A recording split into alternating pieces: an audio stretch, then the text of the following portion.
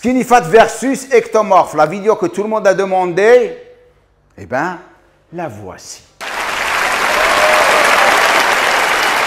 Aujourd'hui, je vais vous expliquer la différence. Je vais rendre les choses très très simples pour vous, les skinny fat qui n'arrivent pas à vraiment comprendre leur physique. Car les ectomorphes, on a déjà fait une vidéo sur eux. Pour les personnes qui sont ici pour la première fois, bien sûr, regardez cette vidéo, vous allez comprendre tout sur les ectomorphes. Mais quand même, on va parler des ectomorphes aujourd'hui. La première des choses qu'on doit faire, c'est expliquer chaque type skinny fat, définition, des individus qui semblent minces ou ont un poids normal selon leur IMC. C'est quoi un IMC Indice de masse corporelle. En quelque sorte, pour les personnes qui sont perdues avec, c'est ce qui détermine votre poids du corps santé par rapport à votre taille. Pour le calculer, IMC poids du corps divisé par votre taille par rapport au 1m75, 1m60, 1m70. C'est OK, tu peux rentrer. Je vous présente quelqu'un. Viens, viens. Ça, c'est Patrick. Ça, c'est le boss de Enoya. Merci, mon ami. Vas-y, tu peux continuer. On ne va pas arrêter. Ça, c'est naturel. C'est pour ça qu'on est ici. Donc, pour déterminer votre IMC, c'est bien sûr votre poids du corps divisé par votre taille. On est d'accord? Maintenant, là où vous devriez vous positionner, où? Si vous vous retrouvez avec un nombre qui est moins de 18,5, ça c'est une insuffisance pondérale. Pas vraiment en bonne santé. OK? Si vous êtes entre 18,5 et 24,9, c'est un poids normal. Vous êtes bien par rapport à la, par formule. Si vous êtes entre 25 et 29,9, vous êtes en surpoids. Ah faut commencer à penser à ce que vous mettez sur l'assiette. Si vous êtes entre 30 et 34,9 obésité modérée, vous commencez à être foutu. Si vous êtes entre 35 et 39,9 obésité sévère, vous êtes foutu. Ça, c'est les personnes qui n'arrivent pas à se torcher le derrière et aussi les personnes qui sont en mauvaise santé. Alors, 40 plus, obésité morbide, tu chies sur toi. Aussi simple que ça. C'est marrant, hein Mais pour les personnes qui me regardent, il faut faire très attention à ça. Maintenant, revenons aux caractéristiques d'un skinny fat. Il a une faible masse musculaire, un taux de graisse corporelle élevé, il apparaît flasque. Attendez, je répète ça encore. Flasque et mou. L'autre caractéristique, accumulation de la graisse corporelle au niveau de l'abdomen, c'est-à-dire graisse abdominale.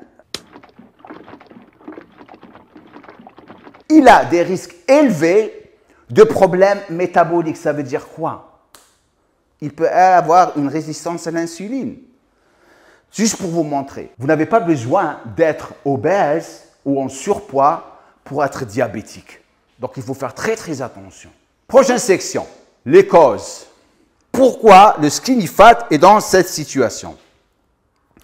La première cause, elle est logique. Mauvaise alimentation. Deuxième, manque d'exercice. Troisième, une vie sédentaire. Le mec, il bouge pas. Il bouge pas, pas d'exercice, pas d'activité, rien.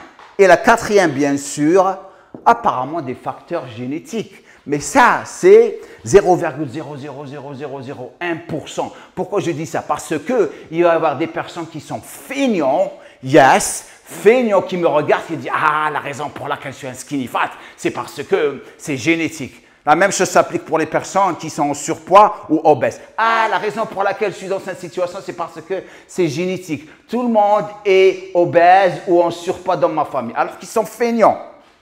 Donc, je ne crois pas ça. Peut-être je lui donne le 0,000,1%, c'est génétique. Prochaine section, l'entraînement. Comment? Un skinny fat doit s'entraîner Simple. Musculation. Un travail de résistance, mais avec un programme très très spécifique. Pourquoi? Parce qu'il doit gagner du muscle sans gagner du gras. C'est pour ça que je vous invite tous à télécharger mon application GM Core Trainer, c'est là où vous allez trouver tous les programmes qui sont établis pour vos objectifs. Ils sont adaptés par rapport à un système universel. Vous pouvez aussi avoir des plans alimentaires que vous pouvez faire vous-même. Tout est fait spécifiquement pour vous. Vous avez aussi mes coachs sportifs qui pourront vous aider avec des programmes adaptés pour chacun. Donc n'hésitez pas de la télécharger maintenant. Je vous mets les liens au-dessous de cette vidéo. L'autre chose, bien sûr, que le Skinny Fat doit vraiment travailler sur sa capacité cardiovasculaire et aussi endurance musculaire pour qu'il puisse soulever les poids proprement. Ça veut dire qu'il faut qu'il fasse de la musculation et du cardio. Comme ça, il pourra changer sa composition corporelle. Oh yeah. Maintenant, avant de continuer, bien sûr, si vous êtes ici pour la première fois, je vous encourage à vous abonner à ma chaîne de YouTube et de cliquer sur la cloche de notification. Un petit j'aime serait vraiment apprécié de ma part. Ça me permettra bien sûr de vraiment montrer encore plus le travail que je fais pour éduquer le monde entier. C'est pour ça que je fais ça. Ok, on ne demande rien. Partagez, c'est tout. Partagez, abonnez-vous et cliquez sur le bouton de j'aime. Maintenant, nutrition. Un régime modéré en glucides, riche en protéines. Ça, c'est la chose la plus importante. Pourquoi? La protéine, c'est ce qui va lui permettre, en plus des glucides et lipides bien sûr, d'améliorer sa composition corporelle. Maintenant, avant de passer à l'ectomorphe, comme ça vous allez voir la différence. Pour toute personne qui me regarde en ce moment, qui veut devenir un coach sportif ou est un coach sportif qui galère, si vous voulez vraiment rejoindre mon équipe de coach sportif, tout ce que vous avez à faire, c'est de cliquer sur le lien au-dessous de cette vidéo pour réserver un rendez-vous avec un membre de mon équipe pour vous donner tous les détails et rejoindre mon équipe et vivre de votre passion comme ces personnes. Salut Dani. Salut Jamo. Rentabilisation par mois. Ben, j'ai commencé un petit peu tranquillement, mais là, depuis, euh, je te dirais, depuis le début, je, je fais environ entre 6 000 et 11 000 par mois 5 et 6 000 euros de chiffre d'affaires euh, mensuel. Monétisation, bah, ça commence à décoller. Hein, depuis qu'on a fait, euh, puis j'ai commencé l'académie, j'ai dû monétiser sur 10-12 000 euros. Hein. 6 000 et 7 000 euros sur les trois en ligne, hein?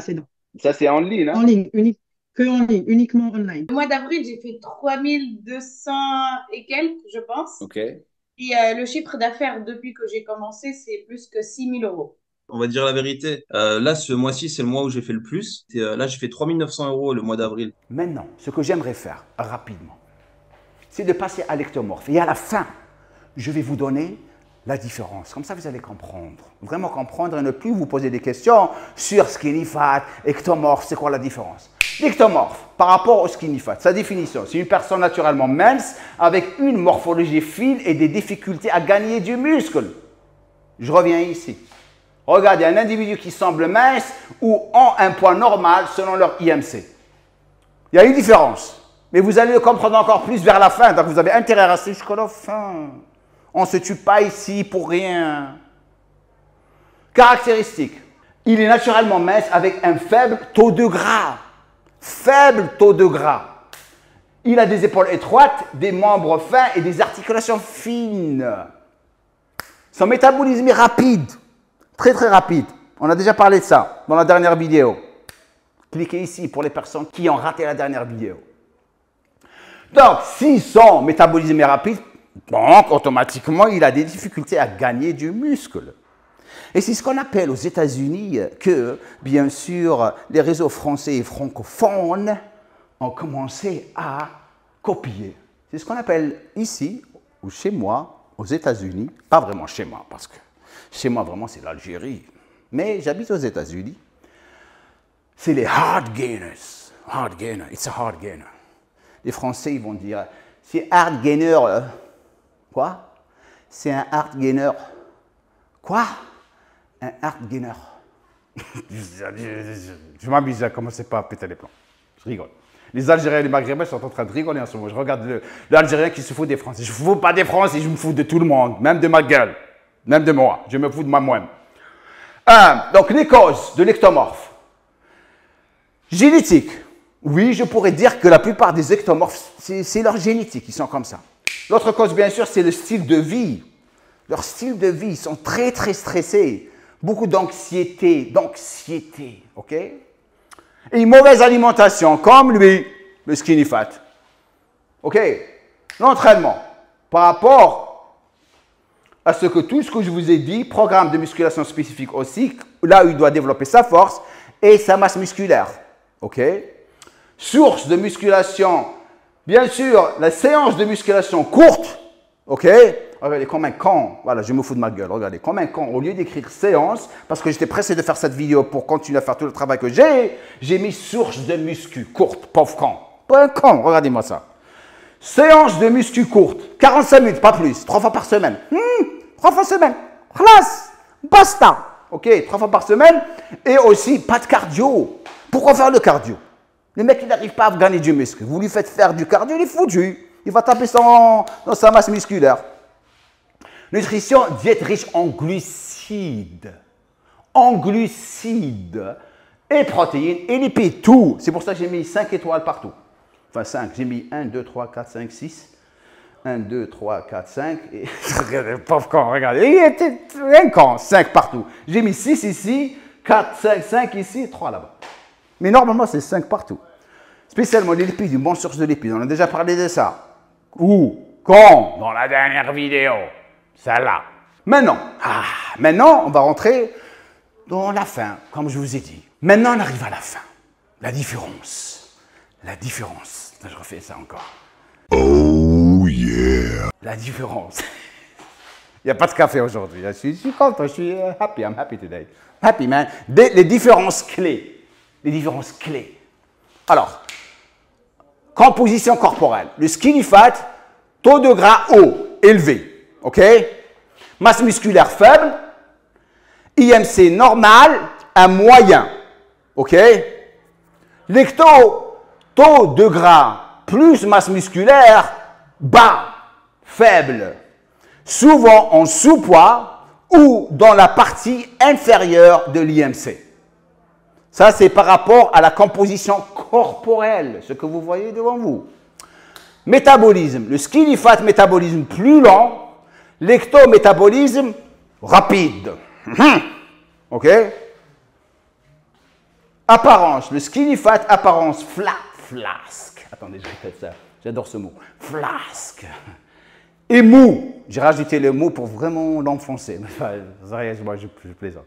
Mou, mou, mou. Et le pourcentage de gras, partie abdominale haut. OK? L'ecto, naturellement maigre, moins de graisse corporelle et appareil osseux. Osseux. Ergig. Ergig. Les Maghrébins. Traduisez ça au français. Approche à l'entraînement et nutrition. Le skinny fat, body recomp, recomposition corporelle. Euh, et ça à travers musculation plus cardio. Lecto, prise de muscle, pas de cardio. OK? Et nutrition, régime riche en GPL, glucides, protéines, lipides. Comme j'ai dit ici, lorsque j'ai parlé de 5 étoiles partout, ils avaient juste balancé les étoiles partout. On arrive à la fin. On arrive à la fin. Voilà, j'ai fait. Je l'ai fait. Merci d'avoir pris le temps de rester jusqu'à la fin de cette vidéo. Si vous n'avez pas pris le temps de vous abonner, prenez le temps de vous abonner, de cliquer le attendez, sur le bouton de j'aime et partagez cette vidéo. C'est tout ce que je demande, comme j'ai dit au milieu de la vidéo. Je reviens la prochaine fois avec, bien sûr, notre ami Warren, avec plus de masterclass sur l'entraînement dans les salles de gym. OK Merci à tout le monde. Et comme je dis à la fin de chaque vidéo, le